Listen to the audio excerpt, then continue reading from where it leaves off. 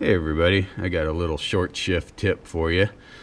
So installing the water pump is pretty easy. You just got to make sure your sealing surfaces are clean and that you got some gaskets here.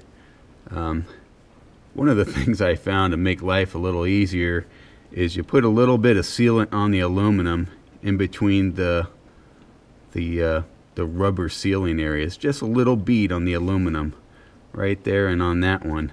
And when you put the bolts in through the gaskets, that little bead of RTV will help hold the gasket in place. Because no doubt when you go to put the water pump up next to the block, you'll start pushing those bolts out of the housing. Hopefully you can get a couple of them in there before they do. Um, this one right here worked really well for me to start and I believe the top one on this side. There is a bolt that comes in sideways and I'll give you that torque here shortly because they don't show it in this part of the book.